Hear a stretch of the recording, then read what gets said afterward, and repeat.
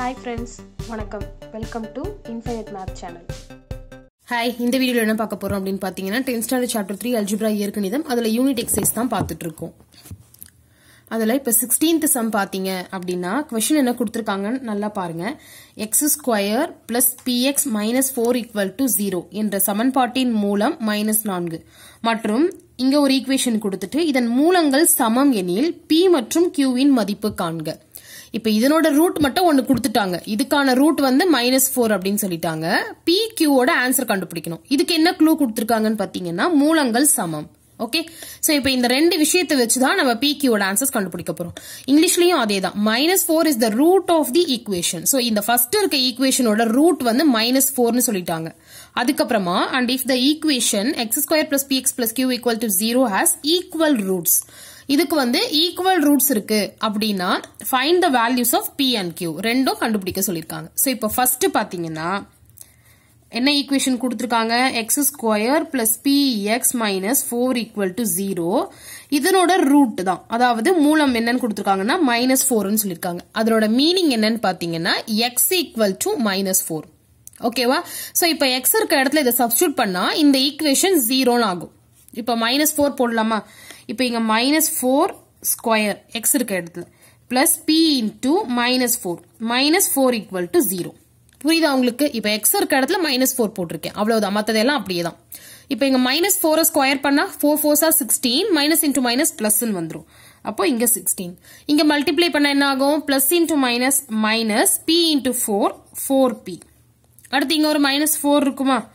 Equal to zero இப்ப பாருங்க இந்த சிக்ஸ்டீன்ல மைனஸ் ஃபோர் போயிடுச்சு அப்படின்னா twelve minus four b equal to zero இப்ப இங்க twelve equal to four b அப்ப b equal to twelve by four three சரியா? சோ இப்ப நம்ம பியோட வேல்யூ கண்டுபிடிச்சிட்டோம். த்ரீ அப்படின்னு சொல்லிட்டு. இப்ப அடுத்து என்ன பண்ண போறோம் அப்படின்னு பாத்தீங்கன்னா நமக்கு இங்க என்ன சொல்லிருக்காங்க? செகண்டா ஒரு equation கொடுத்துருக்காங்கல்ல. X square plus b x plus q equal to zero அப்படின்னு சொல்லி ஒரு ஈக்குவேஷன் கொடுத்துருக்காங்க. இதுக்கு தான் அவங்க என்ன சொல்லியிருக்காங்கன்னா இதனோட ரூட்ஸ் வந்து ஈக்குவல் அதாவது ஈக்குவல் ரூட்ஸ் மூலங்கள் சமம் அப்படின்னு கொடுத்துருக்காங்க. அப்படி கொடுக்கறத வச்சுதான் நம்ம ஒரு க்ளூ எடுக்க போறோம். நமக்கு என்ன தெரியும்? டெல்டா வந்து ஈக்குவல் டு ஜீரோன்னு இருந்தா ஈக்குவல் ரூட்ஸா தான் இருக்கும். படிச்சிருக்கோம்ல? இப்ப டெல்டா வந்து கிரேட்டர் தென் ஜீரோ அப்படின்னு இருந்தா ரியல் அண்ட் அன்ஈக்குவல் சரிங்களா? மெய் மற்றும் சமம் இல்லாதவை.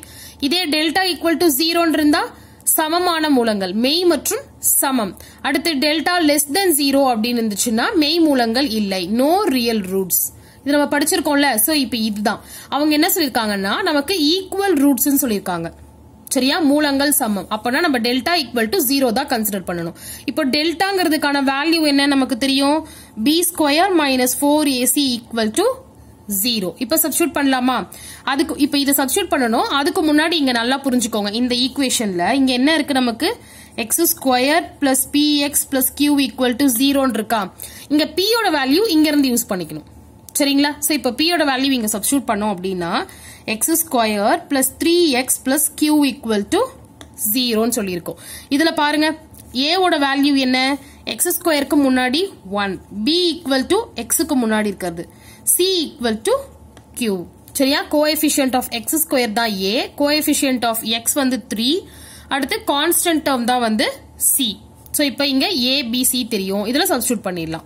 இப்போ பாருங்க b square minus four a c equal to zero அப்படின்னா பி இருக்கிற இடத்துல three square minus four into one into q equal to zero சரியா?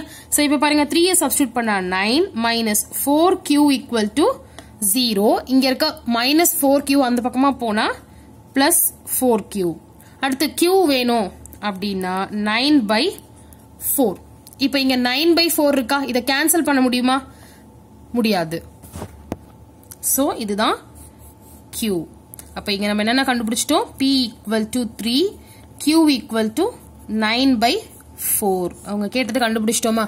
இப்போ இது நல்லா புரிஞ்சுக்கோங்க. இந்த சம்ம கொஷின் என்ன கொடுத்துருக்காங்கன்னு ஏன் வந்து இப்படி இப்படி போட்டிருக்கேன் அப்படின்னா உங்களுக்கு கொஞ்சம் எல்லாத்தையுமே இப்படி ஒரு லிங்க் பண்ணி காமிக்கணுங்கிறதுக்காக தான் முடிஞ்ச அளவு இப்படி போடுவேன். சிலதெல்லாம் ரொம்ப பெரிய சம்ஸா இருந்துச்சுன்னா வேற வழியில ஸ்கிப் பண்ணி போட்டு தான் ஆகணும்.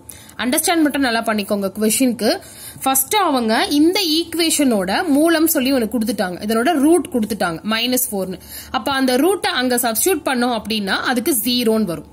சரிங்களா? சோ இப்போ நம்ம சப்ஸ்டியூட் பண்ணி அதை ஜீரோன்னு வச்சுக்கிட்டோம். அப்போ நமக்கு பியோட வேல்யூவை இதுல ஈஸியா கண்டுபிடிச்சிட்டோம். ஓகே அடுத்து ரெண்டாவதா கொடுத்துருக்க ஈக்குவேஷன்ல என்ன பண்ணிட்டோம் அப்படின்னு பாத்தீங்கன்னா பியோட வேல்யூவை சப்ஸ்டியூட் பண்ணி ஒரு ஈக்குவேஷன் ஃபார்ம் பண்ணிட்டோம். அதெல்லாம் நமக்கு கியூ கண்டுபிடிக்கணும். இதை வச்சு தான் Q கண்டுபிடிக்கணும். அதுக்காக அவங்க கொடுத்துருக்க க்ளூ தான் என்னன்னு பாத்தீங்கன்னா ஈக்குவல் ரூட்ஸ் மூலங்கள் சமம் அப்படின்னு சொல்லி. அப்போ மூலங்கள் சமம் ஈக்குவல் ரூட்ஸ் அப்படின்னு இருந்தா டெல்டா ஈக்குவல் டு ஜீரோ இது நம்ம படிச்சிருக்கோம். ஓகேவா அப்ப டெல்டாங்கிறது b square minus four a c equal to zero so இதுல நம்ம இந்த ஈக்குவேஷன்ல இருந்து ஏ பிசிஏ எடுத்து சப்ஸ்டியூட் பண்ணோம். நமக்கு கியூவோட வேல்யூ கண்டு கிடைச்சிருச்சு. இதுல ஒரு முக்கியமான விஷயம் நான் எக்ஸ்ட்ராவா என்ன சொல்லியிருக்கேன் அப்படின்னு பாத்தீங்கன்னா இது இதையும் ரீகால் பண்ணிருக்கேன். டெல்டா கிரேட்டர் தென் ஜீரோனா என்ன வரும்? டெல்டா ஈக்குவல் டு ஜீரோனா என்ன வரும்? டெல்டா லெஸ் தென் ஜீரோனா என்ன வரும்? ஓகே அவ்வளவுதான். சோ இந்த மாதிரி ஒரு சம் வர்றப்ப அது ரிலேட்டடா இருக்க இன்ஃபர்மேஷன்ஸ் நீங்க கேதர் பண்ணி பார்த்துட்டே வந்தீங்கன்னா இப்ப நமக்கு இது ரிலேட்டடா ஒரு பத்து சம் இருக்குன்னு வச்சுக்கோங்க. பத்து சம் அப்பவும் நீங்க இந்த விஷயத்தை ரீகால் பண்ணிட்டே வந்தீங்கன்னா அதுதான் வந்து உங்களுக்கு ரிவைஸ் பண்ற மெத்தட் ஓகேவா ஒரு சம்மை எடுத்து ஒரு எக்ஸசைஸை எடுத்து நான் தனியா உட்கார்ந்து தான் ரிவைஸ் பண்ணுவேன் அப்படின்றது தேவை கிடையாது. இந்த மாதிரி சம்ஸ் வர்றப்ப நீங்க என்ன பண்ணலாம்னா அப்படியே சைட் பை சைடு இந்த இன்ஃபர்மேஷன்ஸையும் ரீகால் பண்ணிக்கலாம். பிளஸ் வந்து இப்போ உங்க ஃப்ரெண்ட்ஸோட ஏதோ ஒரு சம்ம பத்தி டிஸ்கஸ் பண்றீங்க அப்படின்னா அன்னைக்கு அப்ப கிளாஸ் டைம்லயே உங்களுக்கு டைம் இருந்துச்சு அப்படின்னா அப்பவே அதை எடுத்து ஒரு தடவை உங்க மேக்ஸ் நோட்ல எடுத்து பாத்துரலாம். இது ரிலேட்டடா இருக்க ஃபார்முலாஸ் இம்பார்ட்டன்ட் பாயிண்ட்ஸ் அந்த மாதிரி எல்லாம்.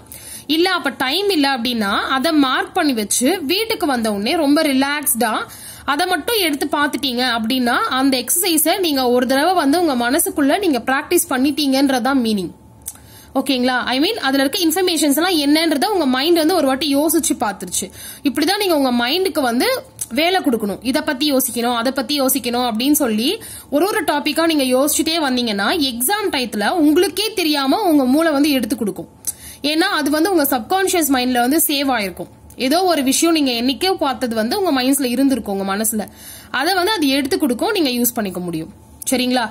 சோ வந்து நல்லா படிங்க. எல்லா சப்ஜெக்ட்டுமே நல்லா படிங்க. மேக்ஸை வந்து இன்னும் கொஞ்சம் நல்லாவே ப்ராக்டிஸ் பண்ணுங்க. ஸோ இந்த சம் புரிஞ்சுது அப்படின்னா மறக்காம வீடியோவை லைக் ஷேர் அண்ட் சப்ஸ்கிரைப் பண்ணுங்க. டவுட்ஸ் ஏதாவது இருந்தால் மறக்காம கீழே கமெண்ட் செக்ஷன்ல கமெண்ட் பண்ணுங்க. தேங்க்யூ